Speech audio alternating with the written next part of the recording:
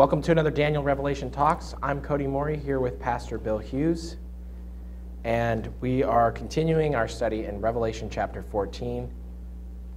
Uh, we've, we're got, we've gotten right up to the first start, verse 6, to the start of the first angel's message, but there remained a, a little bit of confusion and discussion uh, that we will go over for the great multitude and the 144,000. So before we begin, let's have a word of prayer.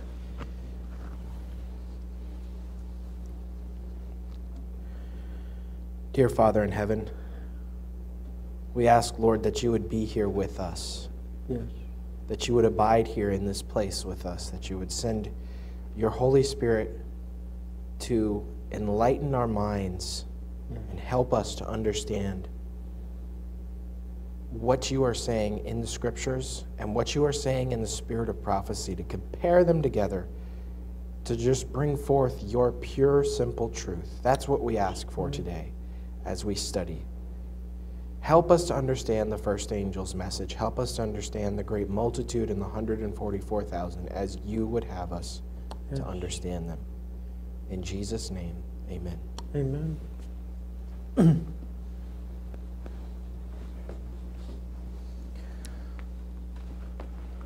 So, Pastor Hughes, one of the issues that came up was whether or not the 144,000 was a literal number or a spiritual number. And it's very clear from the spirit of prophecy that it is a literal number. And I actually have a couple quotes here um, from the spirit of prophecy on this issue. So, this was one of the confusion points that we had. And we've actually brought this up in a previous talk. I believe you read the quote itself in a previous talk back when we were doing uh, Revelation chapter 7, I believe. But uh, if you go to Maranatha, page 287, or if it's easier for you, to October 6th, because it's a devotional, it says, The voice of God is heard from heaven, declaring the day and hour of Jesus' coming and delivering everlasting covenant to his people. Like peals of loudest thunder, his words roll through the earth. He spoke one sentence and then paused while the words were rolling through the earth. The Israel of God stood with their eyes fixed upward, listening to the words as they came from the mouth of Jehovah and rolled through the earth like peals of loudest thunder. It was awfully solemn. At the end of every sentence, the saints shouted, Glory, hallelujah. the living saints, 144,000 in number, knew and understood the voice, while the wicked thought it was thunder and an earthquake. The Israel of God stand listening with their eyes fixed upward. Their countenances are lighted with, up with his glory and shine as did the face of Moses when he came down from Sinai.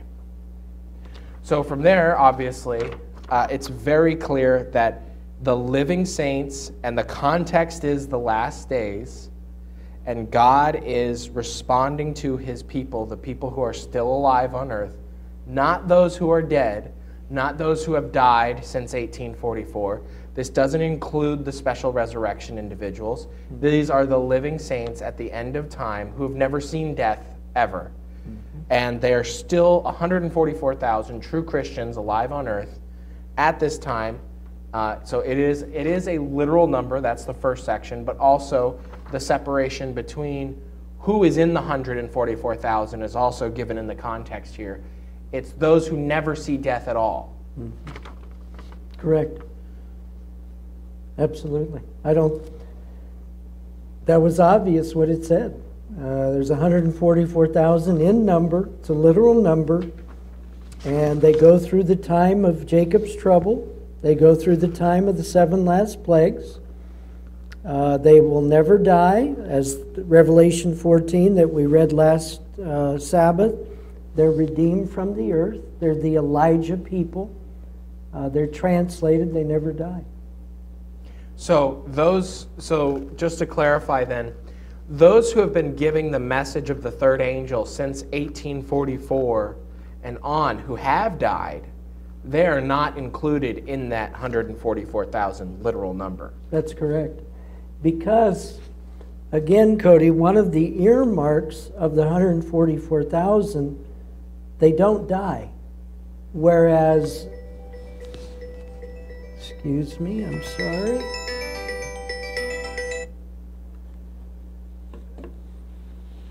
The 144,000 do not die, they're redeemed from the earth, whereas those who come up just before Christ comes.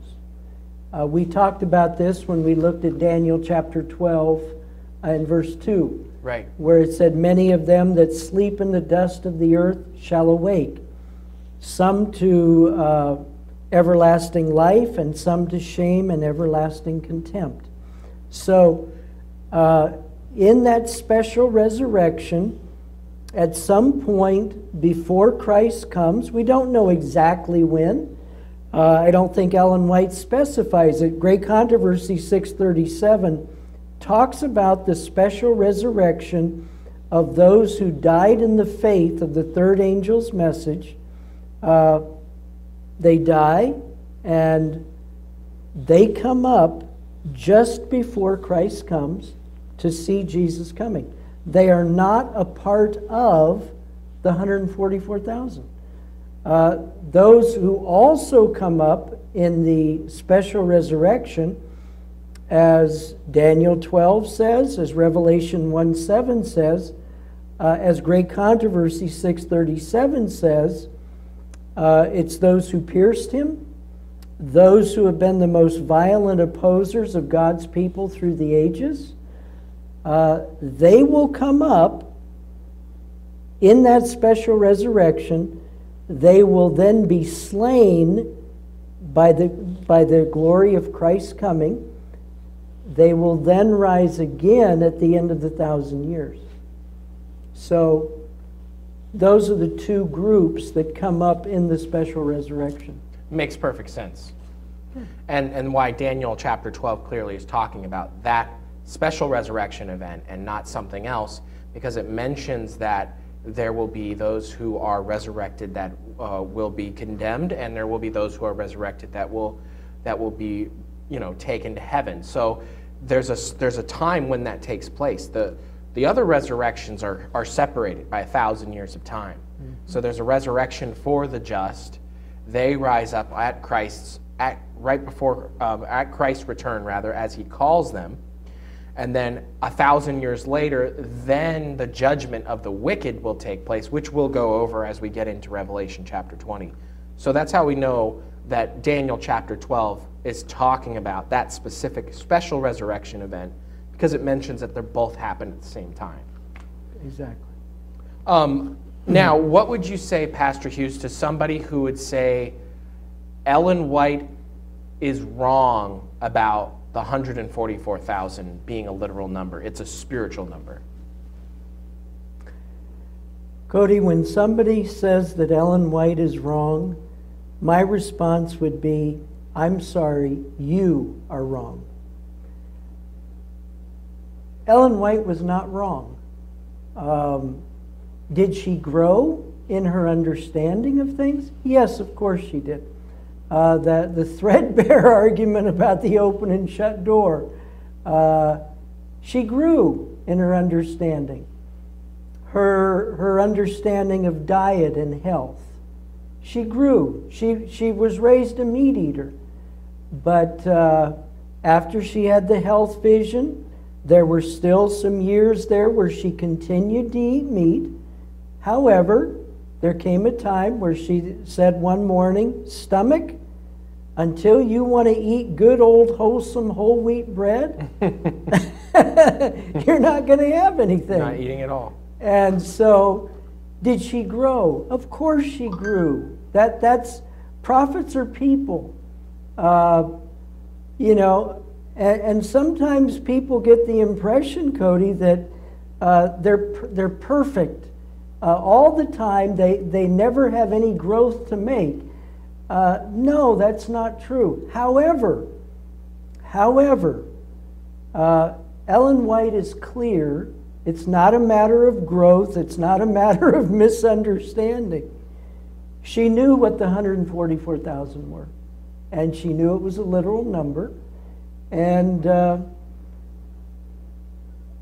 I, I fear, Kody, when people say Ellen White was wrong because if they, if they can say that she's wrong there, well, what happens if they come up to some pet idol of theirs? Whether it be, you know, McDonald's hamburgers or Kentucky Fried Chicken, you know, and they're going, you know, Ellen White says, well, we shouldn't be eating that stuff. And they say, oh, well, she was wrong. Well, what's going on, Kody? You can't pick and choose. And that is an extremely dangerous position to be in. You can't pick and choose, Kody. It's like pick and choosing the Bible. You, you, can't, you can't pick and choose on, on which day you're going to worship.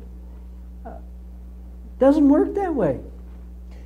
So, just to clarify, the aspects of the growth in which you're talking about here in Ellen White, so folks don't misinterpret to say, well, she grew she grew away from that or something. No, she never You're did. talking about things in her personal life and her understandings. They actually grew and blossomed into bigger things.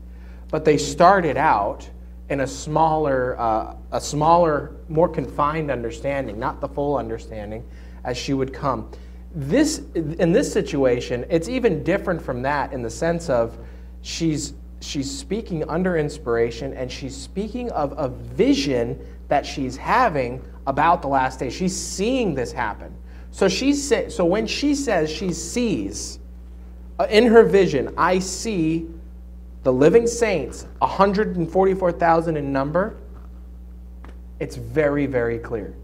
And if we if we take it upon ourselves uh, to to well, I'm going to deny Ellen White here, or or actually rather, if you say Ellen White was wrong, about something, you are, you are making a grave mistake in, in two ways. Number one, you're acknowledging, you're first off, you're acknowledging that she has a clear statement on this issue. Good because point. you're saying she's wrong. Good point. So you're acknowledging that she there is a clear statement. This is what she is saying, but it's wrong. That's the first part. The second part is with your knowledge of that, you are then at that point denying the third person of the Godhead, the Holy Spirit, who inspired her to write that truth, which you acknowledge yourself is very clear. You are rejecting that counsel. That is very, very shaky ground to be on. We have to be like Martin Luther and subject our consciences, take them captive to the Word of God and the Spirit of prophecy. We've taken great measures uh, over the course of time. We have uh, some discussions on Ellen White's prophethood, but even in this, uh, this particular series, we talked about the Great Advent movement and all the pillars of our faith that sprang up from 1844 and J.N. Loughborough's book that talks about some of the things that had happened at that time. And Mrs. White is the fulfillment of the scripture that said that God's last day people would have the spirit of prophecy and they would keep the commandments. So if we throw if we throw that away, we establish a bad baseline because now we've we've we've spiritually made ourselves God. We're no different than the Pope. Because now we're going to pick and choose which doctrines are true and which ones are false. And who's the final arbiter of that truth? Not God, me. It's very, it's, it's suicide, Kody. That's, that's a suicidal position to take. I'm not going to take that. Amen. Also, there's one other aspect of this discussion that people wanted us to go a little further into. In the comments section, they made reference to the great multitude. And I think there's confusion um, with some of the folks on which we've gone over who the 144,000 are. They are those who are still alive. That does not include uh, Mrs. White or Haskell or James White or people that will be most likely brought up in the special resurrection. Um, that does not include them. Those, these are the people that have never seen death. But then what does that make of the great multitude? Who is the great multitude? Are they those that died before 1844? Are they those, are they those that uh, are part of apostate Protestantism only? There's a lot of people that said a lot of different things in the comments section. So can you help clarify that? And I do have a quote here that talks a little bit about it.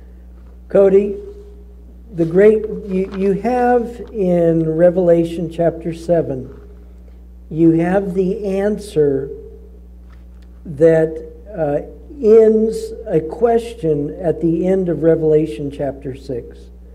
The end of Revelation chapter 6, uh, John says, Right. For the great day of his wrath is come, and who shall be able to stand? The first part of that question, who will stand when Christ comes? Well, those who will be standing will be the 144,000. And then, of course, the great multitude will be standing separate from the 144,000. Okay? Now, the great multitude represent the people through all the ages, from Abel all the way down to 1844, those who have walked with Christ on this earth. They will come up, they will be the people that uh, in 1 Thessalonians chapter 4, where it says, uh, the dead in Christ shall rise first. So the dead in Christ from all the ages rise up at the second coming to meet the Lord in the air. That's the great multitude. See, Kody, And they're not separated by sections. They're not grouped together and these are Adventists, these are former apostate Protestants, these are former Catholics, these, etc. The other groups. no, not at all. See, Kody, the, the problem in Seventh day Adventism, we want to say, well, you know, there, our church now is 22 million strong. And, and so uh, all 22 of those 22 million, they're all going to the kingdom. Well, 144,000 of them, uh, they're going to be the, the ones that are redeemed from the earth. And the other, you know, 20 million, 249,000, they're going to be a part of the great multitude. Kody, excuse my English, but that's a bunch of baloney. It's a bunch of baloney. And what, we, what we've done is we've adjusted our theology to, to comfort the 22 million plus Adventists that simply are called by that name. That's what it is. Kody, you Preaching know, smooth things, essentially. it's, it's, it's teaching smooth things.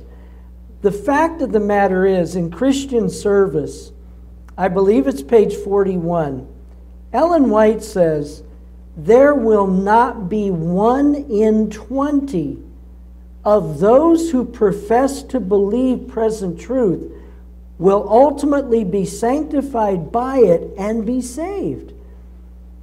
So, of the 22 million plus, Ellen White saying less than 5% of that group will be in the kingdom. Okay? Now, who makes up the 144,000? We mentioned that last week. It's Seventh day Adventists and those who respond to the loud cry when the little time of trouble begins. right. So, Okay. in, in a sense, they're all Adventists, right? They, they all become Seventh day yes, Adventists. because they, they accept the, and believe the same doctrines. Exactly. And though these other ones, maybe, you know, let's call them babes in the faith, um, they, with the power of the loud cry, they are matured very, very quickly. And they come to a full understanding of the same truths that we have. So, regardless of, because you weren't born an Adventist, I wasn't born an Adventist, but we would call ourselves Seventh day Adventists today. of course. Um, we know we know the truth. We, we, we hope and pray that we're faithful, that we can be a part of this loud cry, which I think is shortly coming upon this earth. And but that doesn't mean that we would be grouped in a, in a different way because of our because of our past. Because I was Southern Baptist in the past, and you were, I believe you were Presbyterian, right? Methodist. Methodist. Yeah. Methodist. Okay. So, no, it, it's the whole, the whole, the, the faith, the doctrine, the pillars, the, the acceptance of the Sabbath and the sanctuary doctrine. All those things are going to be understood and accepted by those who come in, even if they f- don't fully understand them. They will come into the message, and in the end, in the end, when this is all done, it's just going to be Seventh Day Adventist with as far as doctrine is concerned. Absolutely. And any incorrect understandings that some of those that who have died in the faith, like Martin Luther and his consubstantiation and his understanding of the Sabbath, those will all be rectified after Christ's after the resurrection when Christ returns. They're all going to accept the truth at some point, obviously, um, and everybody's going to be a Seventh Day Adventist. I mean, in doctrine at least, mm-hmm. in heaven. You know, Kody, we, we looked in Revelation 8 and verse 1 about under the seventh seal that there would be silence in heaven about the space of half an hour. And we, we found out that a half an hour, prophetically speaking, is about a seven day period. And we read a statement from First Testimonies, page 60, where Ellen White said that it would take the redeemed about seven days from the time they leave this earth till they actually step onto the sea of glass. And I'm looking at that and I'm thinking, I don't know how Jesus is going to do it, but during that seven, seven day period, I, I, in, I, I see in my mind's eye that he's going as he did with the two disciples on the road to Emmaus. During that seven day period, he's going to open the scriptures. Class has begun. Class has begun. Absolutely. And the 144,000 and the great multitude and those in the special resurrection, the redeemed of, of all time, Jesus is going to be answering all their questions. How he's going to do it, Kody, I don't know. All I know is that he has the voice like the sound of, a, of many waters, and, and it's, it's powerful. And he's going to share truth so that there is clarity, there is unity of thought among all the brethren that are redeemed. So when they enter the sea of glass, when they touch the sea of glass, Kody, they're, they're all going to have, you know, a, a basic understanding of truth, and they will be in harmony. I mean, if you think about it, uh, for God's foresight is infinite, so He already knows the questions we're going to ask. He could now, if he wanted to, and this is just an interesting thought. He could right now. He could, he could write down all the questions he knows you're going to ask, and answer them all in a way he knows that will get the truth will go to your heart. And he can hand you a book the moment he meets you, tailored to you, written in a way that you most interesting book you've ever read. Every question you ever had about everything Yeah. answered right there. It's just amazing. You know, some of those stories that we, we hear, like the one about the Catholic catechist a few Sabbaths ago, they, they have some knowledge because of their background. Or like this, uh, this uh, colonel in the army that we read about this morning. They, they have some biblical knowledge. They, they want to know God. They want to follow Him. But, but there's a few little pieces of the puzzle that are missing. But the Lord, like you said, the Lord knows the questions. He knows the pieces that are missing. He plugs them in. And it's like I've, I've been in a room and I'm going, it's dark in here. And then all of a sudden, somebody lights a candle. Somebody then turns on a light. And, and you go, I've got it. It makes sense now. And it happens very quickly. And I, I think that's what we're going to see. Under the loud cry, when people in government positions, uh, in other churches, through the power of the latter rain, the lights are going to be going off. The pieces are going to be filled in, and people are going to say, This, this is it. I, I see it. It's so beautiful. Yes. So, And the strategy that God has been working on different people that's still going on today. absolutely. For their whole lives, the final pieces are going to be put into place in that, at that time. That's going to be amazing. But Amen. I had a quote here again from Maranatha. It's from November 27th, uh, just a about a month, a month and a half later. And it's from page 339, where she talks about the great multitude and even quotes Revelation chapter 7, verse 9. It says, Now Christ again appears to the view of his enemies. So this is after the thousand years. And it says, Far above the city, upon a foundation of burnished gold, is a throne, high and lifted up. And upon the throne sits the Son of God, and around him are the subject of, subjects of his kingdom. The power and majesty of Christ no language can describe, no pen portray. The glory of the eternal Father is enshrouding his Son. The brightness of his presence fills the city of God and flows out beyond the gates, flooding the whole earth with its radiance. Nearest to the throne are those who were once zealous in the cause of Satan, hmm. but who plucked, who plucked as brands from the burning, have followed their Savior with deep, intense devotion. Interesting the way the groups are separated by the spirit of prophecy. It's not by race or by different beliefs, it's by their experiences. Hmm. So, not former Adventists, not, doesn't say anything like that. Mm-hmm. Ne- next are those who perfected Christian characters in the midst of falsehood and infidelity, those who honored the law of God when the Christian world declared it void, and the millions of all ages. So that does away with the idea that the 144,000 is everybody. That's not the case. It says, and the millions of all ages who were martyred for their faith. And beyond is the great multitude, which no man can number, of all nations and kindreds and tongues, um, people before the throne and before the Lamb, clothed with white robes and palms in their hands. So there's multi millions and millions of people we're talking about here. The vast throngs, like the sand of the sea, this is going to be an intense amount of individuals. And it's those, so when we put it all together, you have here the 144,000 who never die. You have those who are on the special resurrection on both sides of it, who are actually part of the great multitude.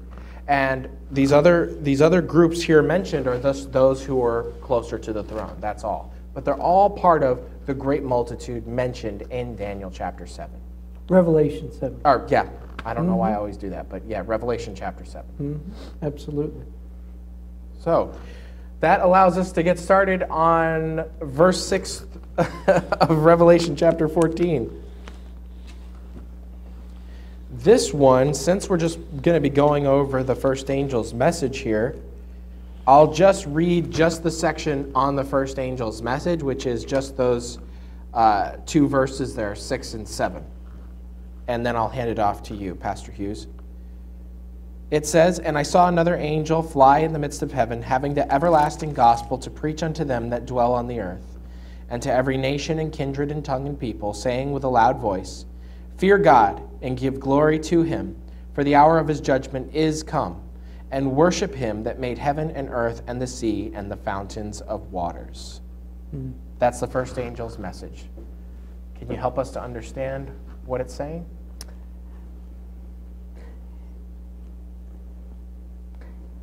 Since, Kody, it's the everlasting gospel, everlasting meaning it's always been and it will always be.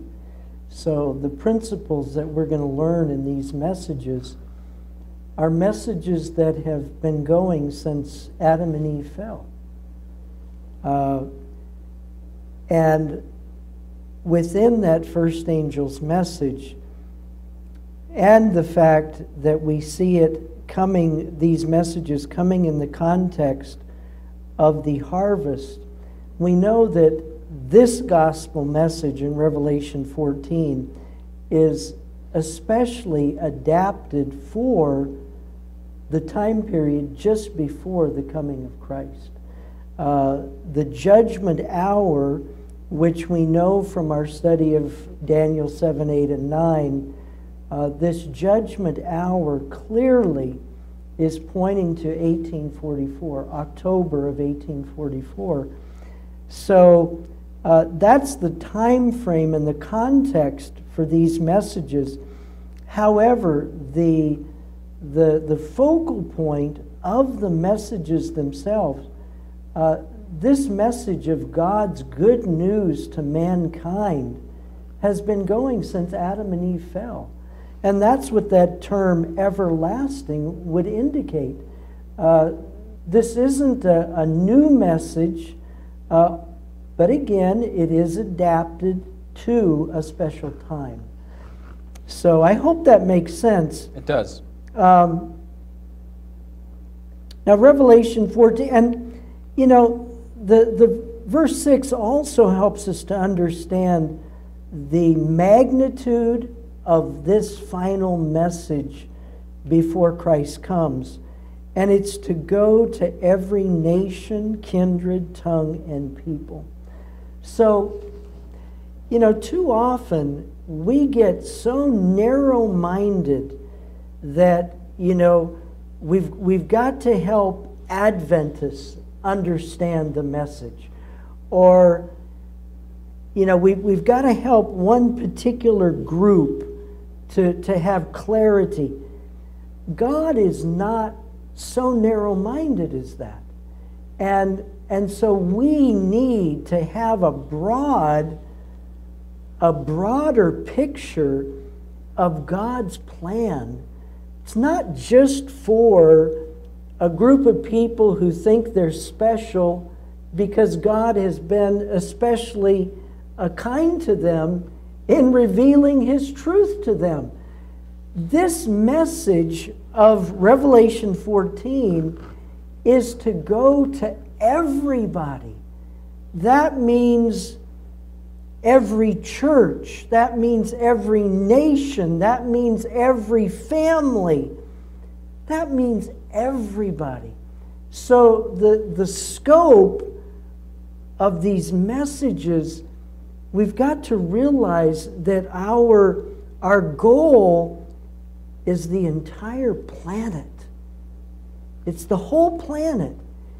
And so, to keep that perspective and, and to maintain the, the, the broadness of what God has called His children to do, we haven't been called to understand these messages to sit on them. Uh, We've been we called to give them. What's that? We've been called to give them. We've been called to give them, Kody. And, you know, too often, especially in affluent, prosperous uh, America and, and other uh, advancing nations, we get complacent and we, we think, oh, well, I've got the message. Yeah, but getting the message puts a tremendous responsibility on every person that is given that message. To sit on it is, is terrible. It, it's, you know, it's, it's just horrible. You know, it brings something up for me on a personal level as well because I've actually thought about this uh, a couple of months ago. I was thinking about this deeply, and um, you know, you ask the question. You ask you ask the question to the Lord because there are a lot of true Christians out there in other denominations. Mm-hmm. They, they, he says that they're, they're, most Definitely. of most of his people are in the other churches. Absolutely. And you ask the Lord the question, why, why me? Why do I know, but this other true, he's a true Christian too, or she's a true Christian too? Why doesn't she know? And the answer comes back Because you haven't told them yet. you know, when I ask the question to myself, why me? Why us? Why you watching this right now? Why were you and not somebody else entrusted with this truth? God doesn't want us to sit on it.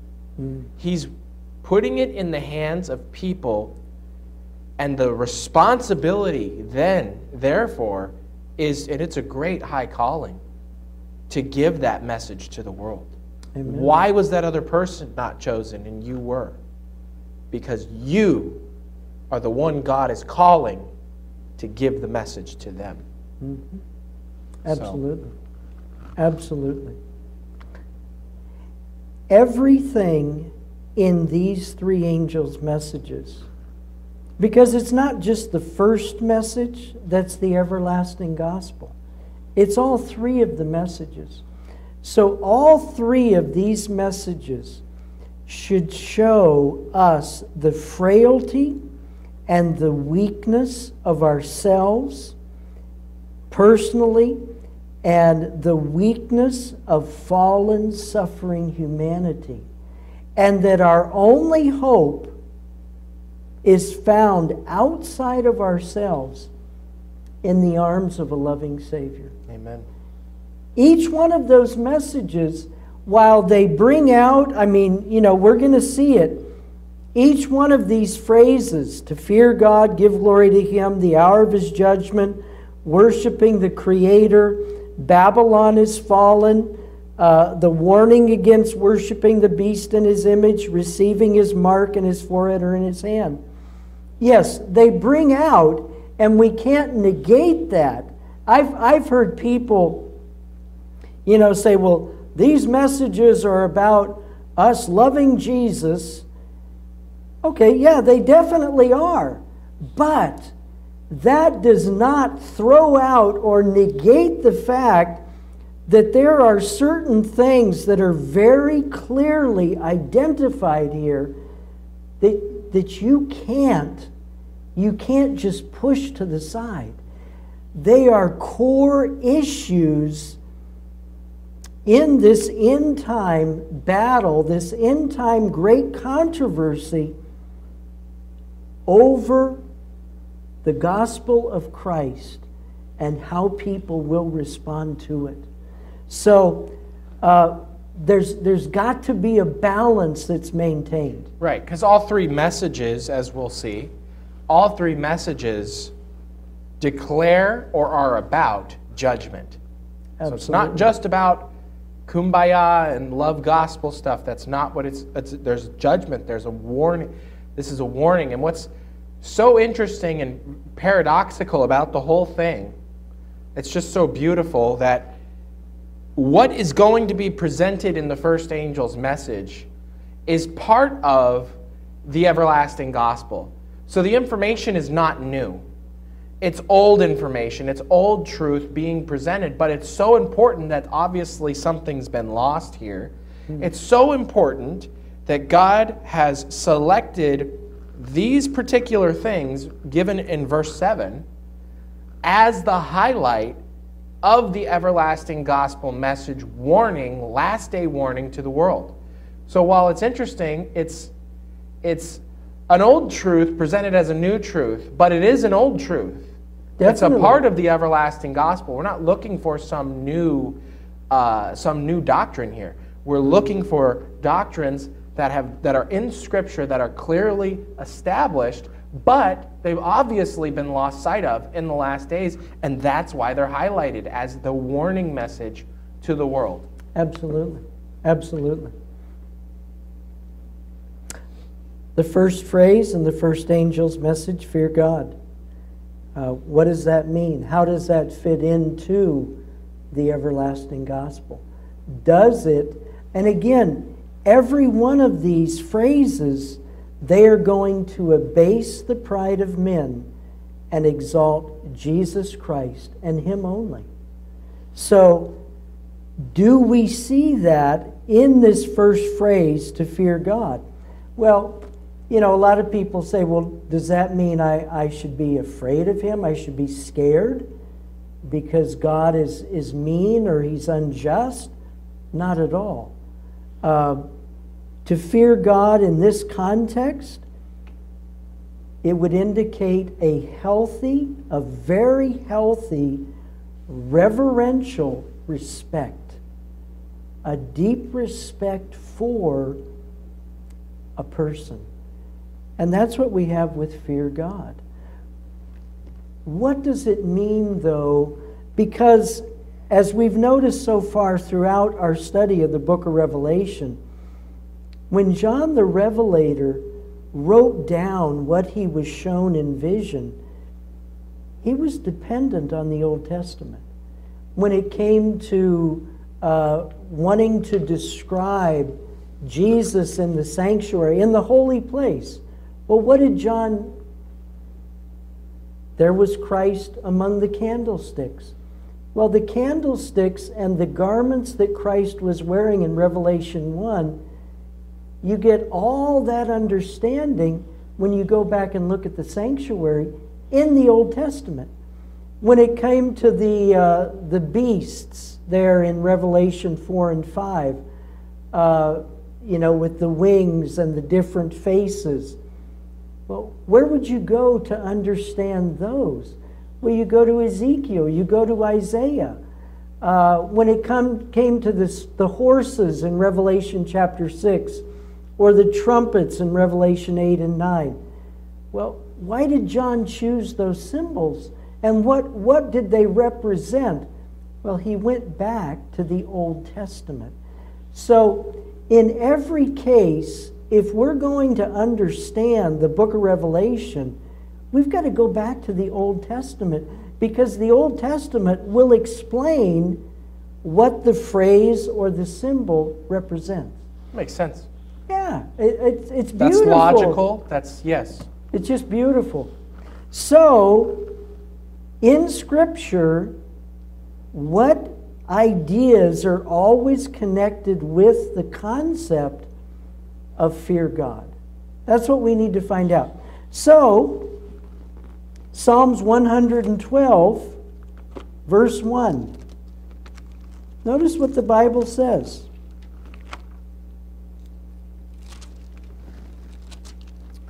Psalms 112 and verse 1.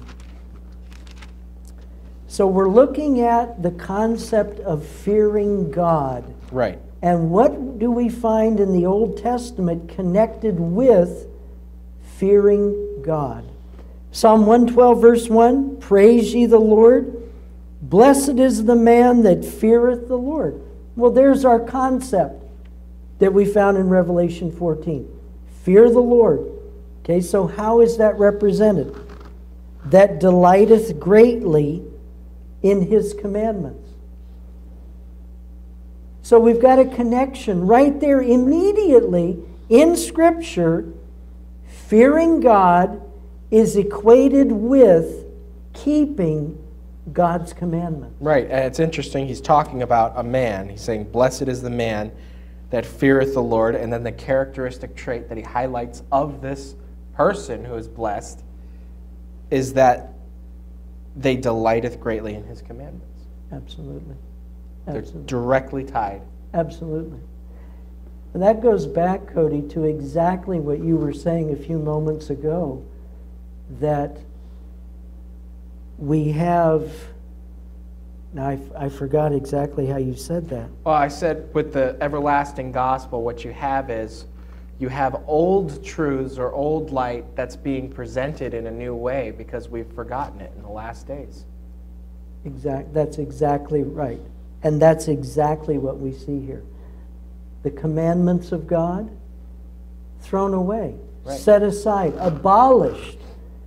Uh, especially, of course, number four. But this idea that the commandments of God have been made of none effect, they've been thrown away, uh, nailed to the cross. And so, what does God do at the end of time? He says, Wait a minute. My commandments are still as important as they've always been That's right. The everlasting gospel. the everlasting gospel. Now, let's take a look at another passage. We'll look at about two or three more. Uh, Ecclesiastes chapter 12 and verse 13.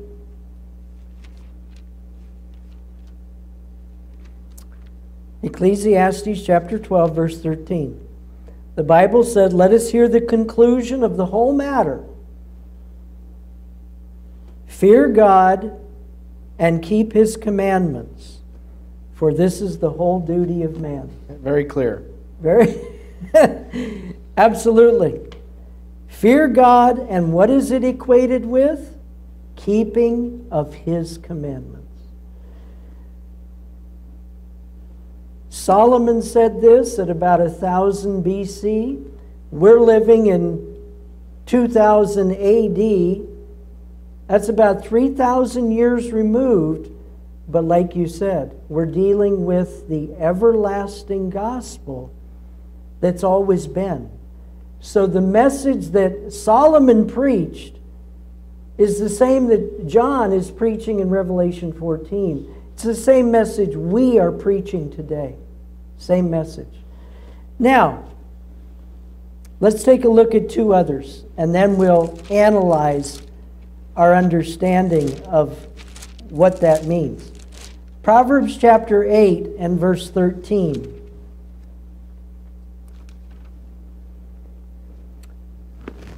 The fear of the Lord, now there's fear God, fear of the Lord is what? It is to hate evil. Pride, arrogancy, the evil way, the forward mouth do I hate. So, fearing God is connected with shunning, turning away from, rejecting evil. Now, is rejecting evil and keeping God's commandments, is that the same way of saying the same thing?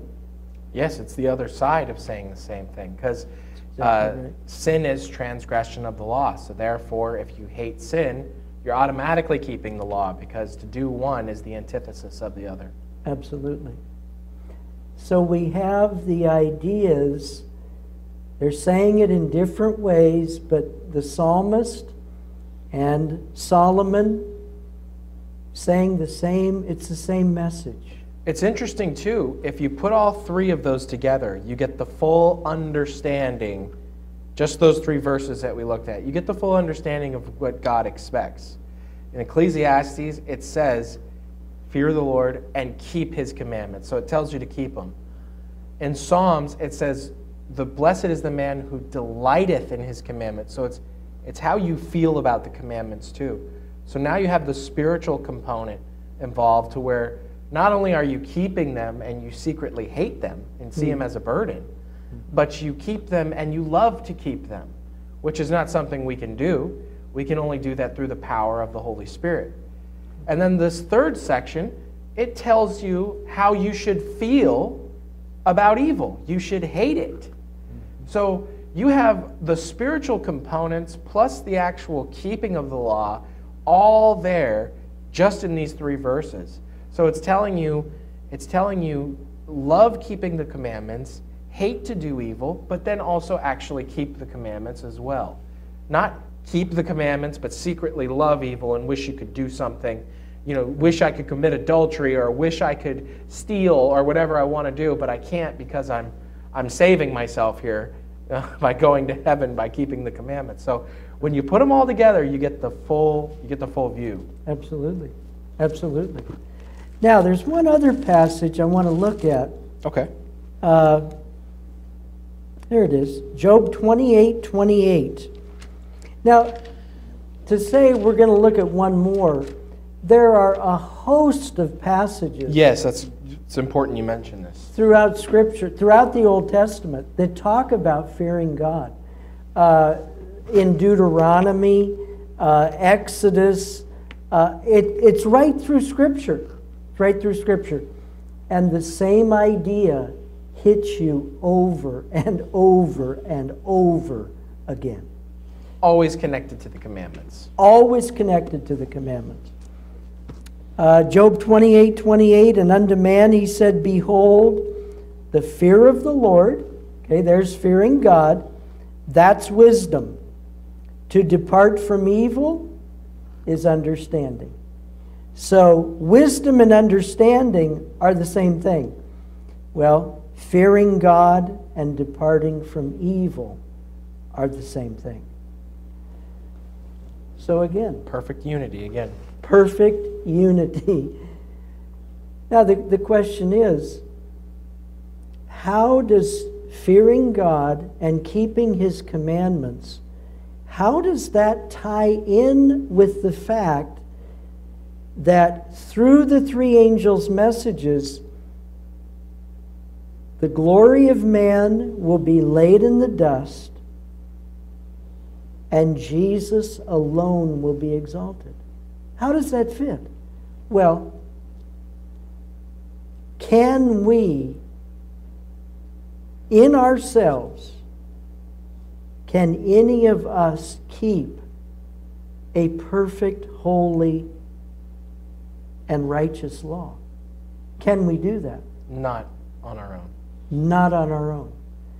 So, in looking into the, the principles of the Ten Commandments and realizing that God's commandments are here and we are here, and that by ourselves it is impossible for us to attain that standard, what happens to our righteousness? It's leveled. Our pride is humbled in the dust because we recognize that there is a standard that we could never attain to by ourselves. So, does the message of fearing God and honoring His commands, does that abase and humble human pride? Completely. Completely. So, where do we go? Where is there hope in a message that completely destroys human pride? Well, there's hope in Jesus Christ. And it's only in Him and through Him that man can be forgiven for breaking that holy law. And it's only through faith in Christ that man can be elevated to keep that law. So, the, the two core principles that we've said runs through Scripture in the abasement of human pride and the exaltation of Christ alone are clearly seen in the phrase, fear God. Clearly seen. That's amazing because so, it's impossible. It is impossible for us to do it. So we, that has to, that part of ourselves has to be abased. It has to die in order for us to even have an, a, a chance at being able to actually fulfill this command from God to fear Him. Mm-hmm. And this idea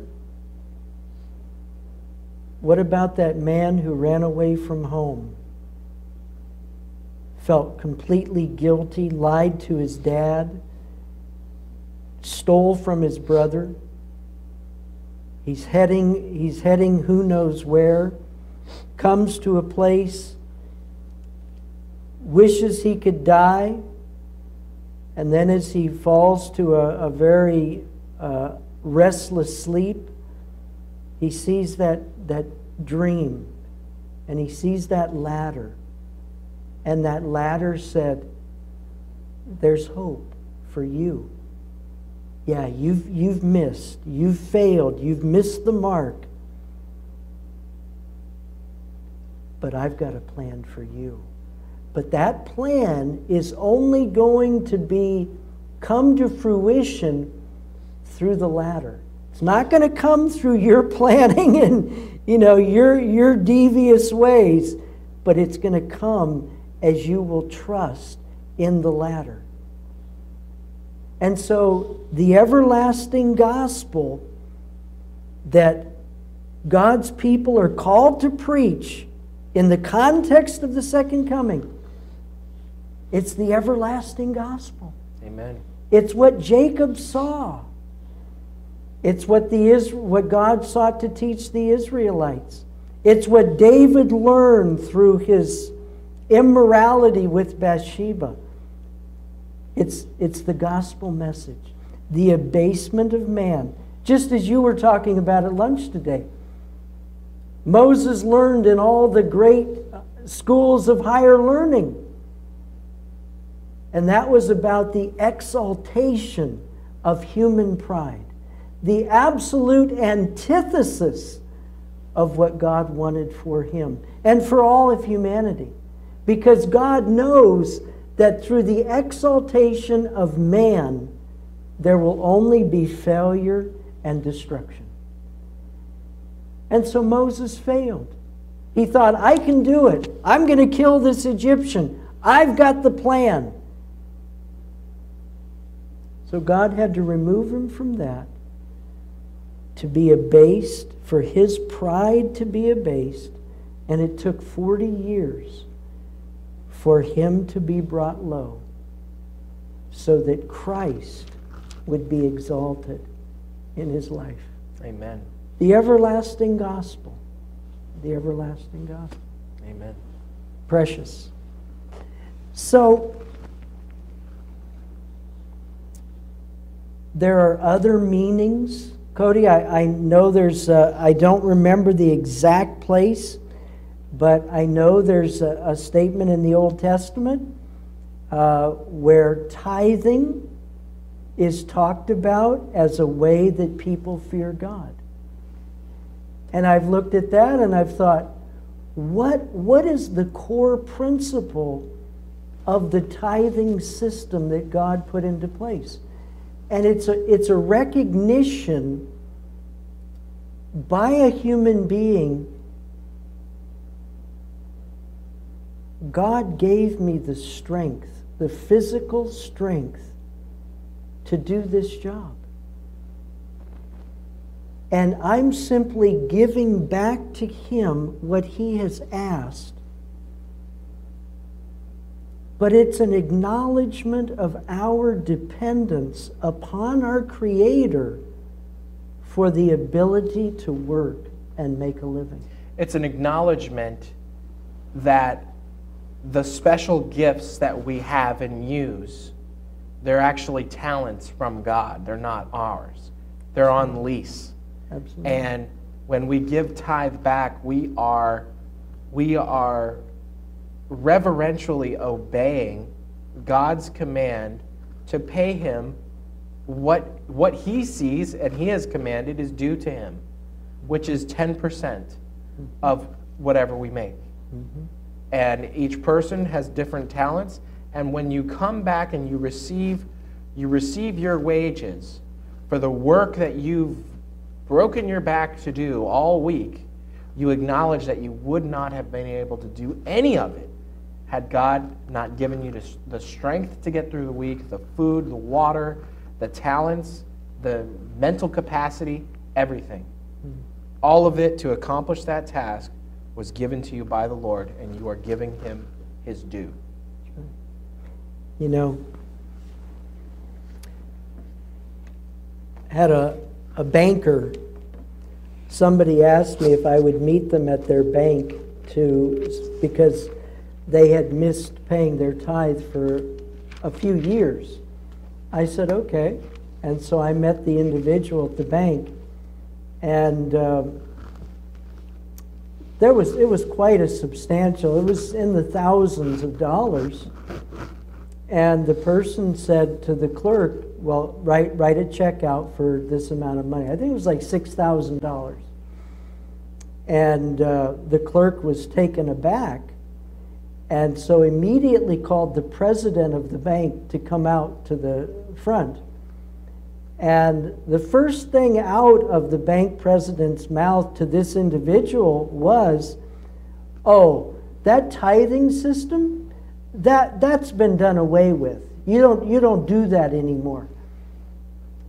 And I looked at her and I said, "Ma'am, are you telling me that people are no longer dependent upon the creator for strength and for the abilities they have to do their work?" Mm, yeah. She looked at me. she was she was very embarrassed, uh, very embarrassed. Uh, she still encouraged the person not to give me the money. And you know, when you look at that, what what is that? What's the person saying? They're saying, "Look at, I make this money on the sweat of my brow." Right and and the food I eat, uh, you know, I buy it from the store. God has nothing to do. You know, it's it's a complete denial of the fact that there's a God. And of the reality that he's he's responsible for the food on your table. Absolutely. For your for your abilities. Yes, you are putting in you are putting in the work perhaps to earn the money or to increase your knowledge you, there's, there's work to be done there. But He's given you the faculties to do it. It's like, it's like a farmer uh, on, a, on a plot of land. God has given you the land. You have to farm the land.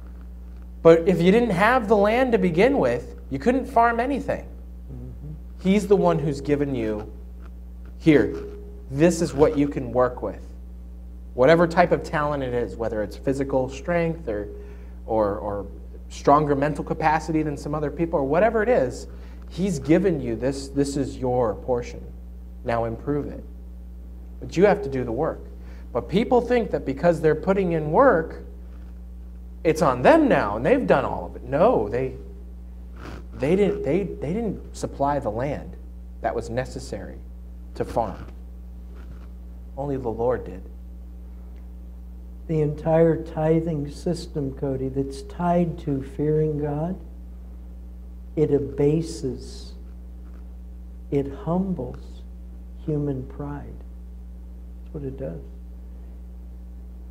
Absolutely, and I've actually done a word study here on the on the word uh, fear God, and I found that one of the definitions of it was reverential obedience, mm. and tithing and commandment keeping and hating evil, all of that fits perfectly in that understanding. Mm-hmm. Yeah. yeah. So, Pastor Hughes, we got through fear God. So that's the first part of the first angel's message. Uh, but next time we'll take a look at giving glory to Him and this very important concept of the fact that the hour of his judgment is come, what that will mean.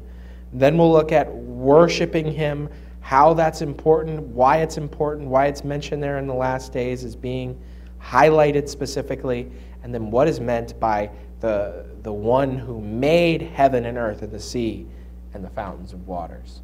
And I think it's important for folks to understand that the three angels' messages are God's last day final warnings to the world. So we understand, once we understand everything about the first angel's message, we can build upon it by learning the second angel's message. But everything pivots from the first angel's message. The first angel's message is really telling us what God expects from us. And the second and third are warnings and a final warning um, to, to not be a part of the group that rejects the first angel's message, absolutely. essentially. Absolutely, Kody. Yeah, absolutely. Well, you would, would you like to add anything else? I'm excited about the rest of it. Me too. Will you please close us out in prayer? Sure.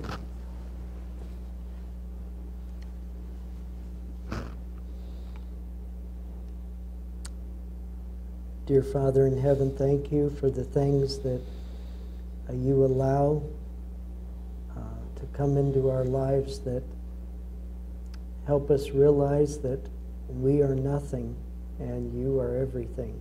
Yes. Thank you for uh, how patiently you, you seek to teach and, and guide us day by day to learn to not trust in ourselves, but to trust in you Yes. And to find all the gifts and all the joys and all the blessings that you promise to give to your children. So we pray for your guidance as we continue to study these messages and to share them with as many people as we can. In Jesus' name, amen. Amen.